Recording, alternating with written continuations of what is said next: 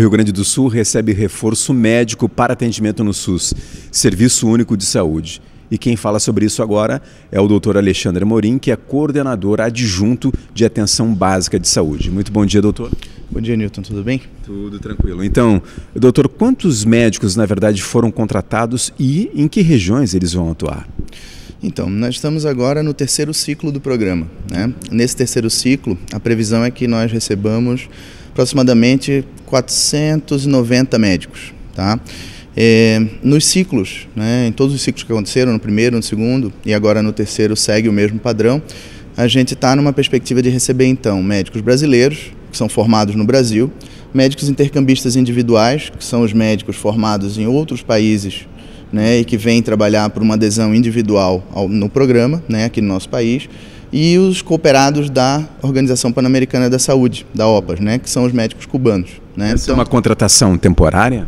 Essa é uma contratação. O programa ele está vinculado a um processo de especialização que esses profissionais fazem em nosso país, né, de especialização em serviço. Então, é, esse curso ele dura três anos e é nesse período que esses profissionais vão atuar nesse, nesse momento. Né? Como é que eles vão ser distribuídos aqui no Rio Grande do Sul? Então, é, 113 municípios já foram atendidos no primeiro e no segundo ciclo. Né? É preciso que a gente diga que a gente já recebeu uh, aproximadamente 400 profissionais.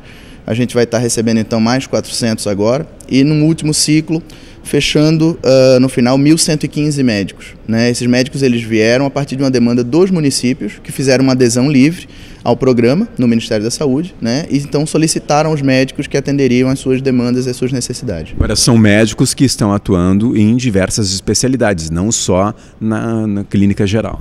É, na verdade, são médicos que no momento encontram-se atuando em várias áreas, mas eles vêm ao país para atuar especificamente na estratégia de saúde da família, né, na atenção primária do país, que é a porta de entrada, é a ordenadora de todo o Sistema Único de Saúde. Agora, quem é que está bancando esse investimento aí na área da saúde?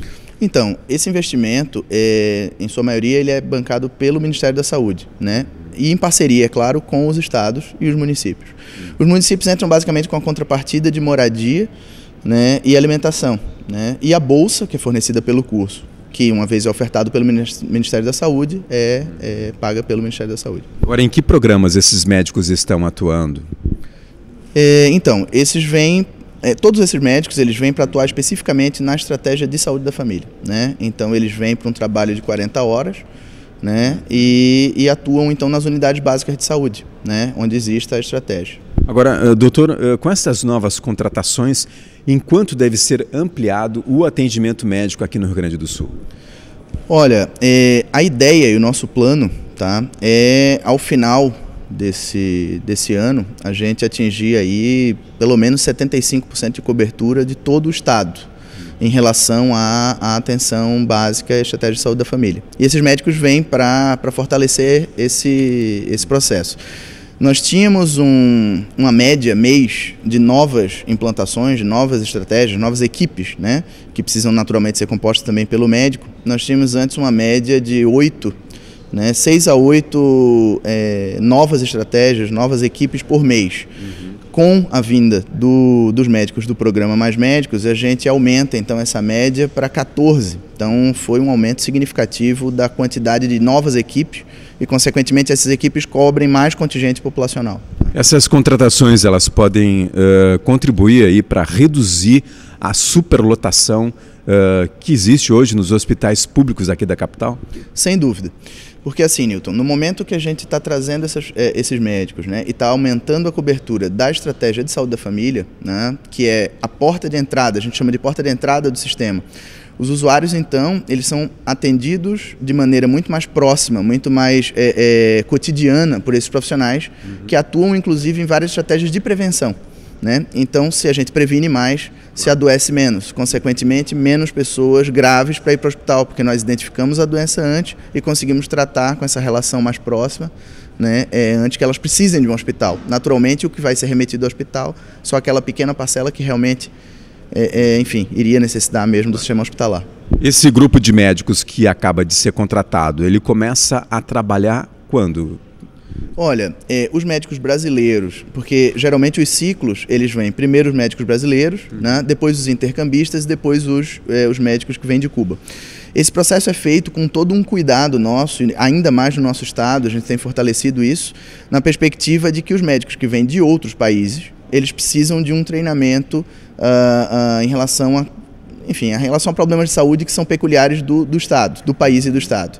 Esses médicos é, brasileiros que vieram então, esses já estão começando. Na verdade, ontem nós fizemos o acolhimento a esses profissionais e eles já foram com os gestores municipais para o município. Devem estar começando a atuar essa semana, no mais tardar na próxima. Então a maioria é para o interior, né? Capital também vai receber? Também é capital, mas o programa tem uma coisa peculiar, porque esse programa vem para fortalecer áreas onde, no geral, nós não conseguíamos contratar médicos.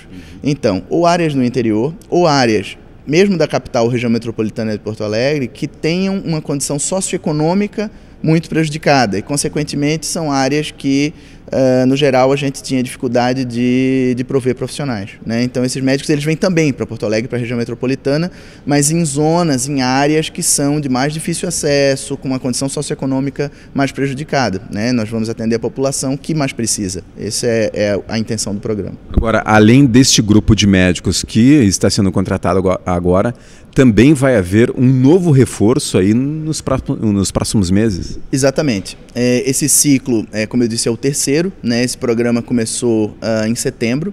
Né? Nós estamos no terceiro ciclo então de recepção. Esse ciclo ele se encerra.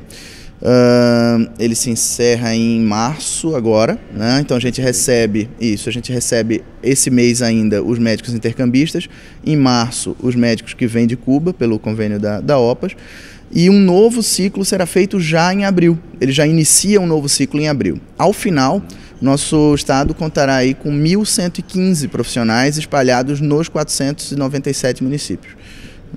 Bom, essa é uma boa notícia então aí para a área da saúde, né, que sempre, né, é, é, apresentou vários problemas aí, falta de investimento, de equipamento, de profissionais, e agora, né, uh, essa situação pode ser um pouco amenizada com a contratação então desses novos profissionais. Sem dúvida, né? O Ministério da Saúde vem, na minha opinião, fazendo um serviço fantástico para a população brasileira, né? E aqui no estado, né? É, o governo tem feito iniciativas complementares e, e que tornam ainda potencializar o programa, porque a nossa intenção realmente é atender da melhor forma possível a população, enfim, brasileira, principalmente gaúcha, no tocante à saúde.